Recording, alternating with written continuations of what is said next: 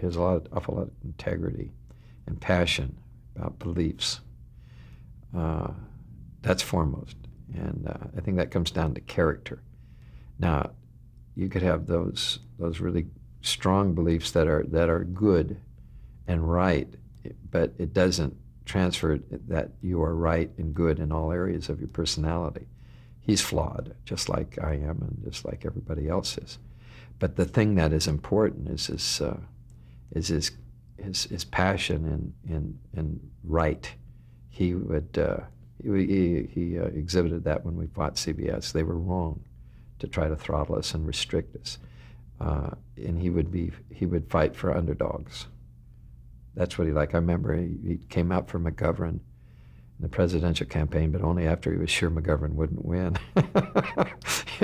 I think that's a little bit of it, you know. But he he uh, if there's somebody getting picked on, Tommy would be in there to protect him, and uh, that's that is a really a core value that is important. A lot of people, uh, and when th- things go go poorly, that's when character. It's easy to be good when it's fine, everything's going fine, but uh, when things weren't going fine, Tommy just dug in and fought harder for his beliefs, and sometimes that's not practical. I think in some ways he's impractical that way, and uh, per, in his personal life. Uh, Oh, also in the professional life, he's, he's, a, he's a perfectionist. And a perfectionist is only, a to me, a perfectionist is someone who sees it only his way. There, there, there's no such thing as perfection. Uh, Jerry Lewis had that problem. I remember he did a show where he had to write it, almost write it, direct it, light it, produce it, do everything. And what do you do? You get something that's that doesn't have the the the, the genesis of many creative minds coming from different different directions to make it great. Sometimes, but also the other point is committee decisions are to the lowest level of the committee. The unique individuals can excel, but in when you're working with say 100 or 200 people in a show, there's more than one idea of perfection. And in comedy, when I work with Tommy, he has a tendency to see things we're getting better since we went to couples counseling, but he tends to, to see things generally his way, I think. And uh, I see things as my straight man way. I can't get the laughs Tommy gets. I, I've never had them. I get them in the show, but if, uh, like when I, I do uh, supposedly motivational speeches, I go out and talk to people and uh, show them tape and tell them about our life. And I, I'll get some laughs there, but I'm not I, am not presented as a comedian. Uh, and I see things very strongly my way in the act. And we are now, after 42 years, working a with a lot more compromises. Uh, when we were starting out, uh, we had we didn't uh, know where we were going or why we were there, wh why it was funny. Um, and I slowly got into talking and uh, and becoming uh, carrying more weight. And we realize that the comedian has to be less heard, uh, and the straight man set things up better, and then he'll be funnier. You know, we learn the balance of the. So we're learning, we're working better. But I think Tommy has a tendency to, and and sometimes what I, what I really think he has to work on is once he sets his mind, he, he it may be an emotional decision, and a fact won't the facts won't change it, and uh, I don't find that uh, good. I don't find that attractive. I don't like that. But it's it's by far. Uh, I mean that as a, as, a, as a sort of nitpicking because the character the, the, character of a person is the most important thing there is. There's nothing else.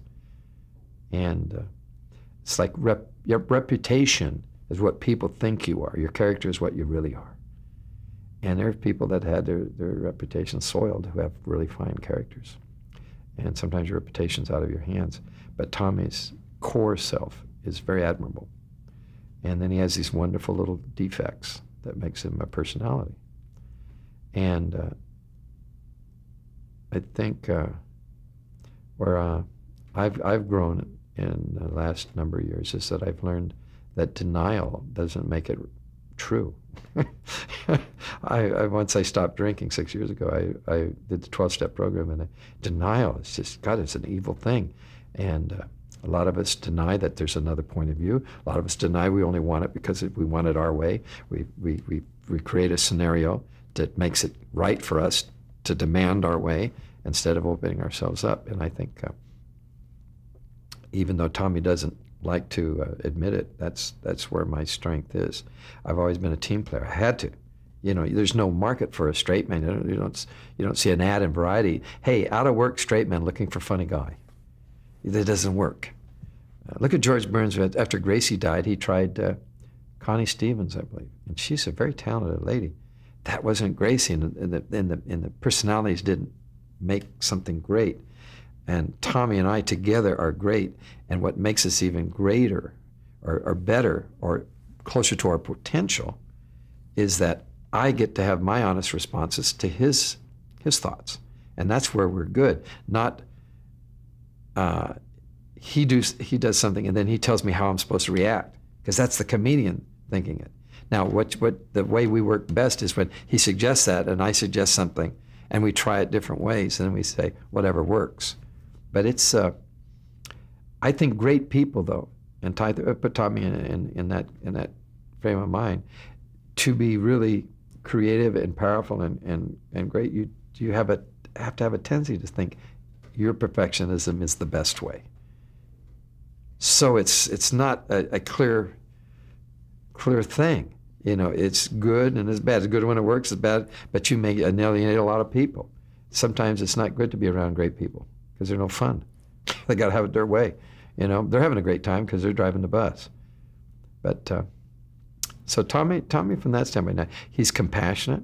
He just loves his kids. He loves family, and uh, he has he has very creative friends. You could judge people by the people they want to. I hate to use the word judge, but you could you can learn a lot about a person by the people they, they like being around. And Tommy's around generally creative people.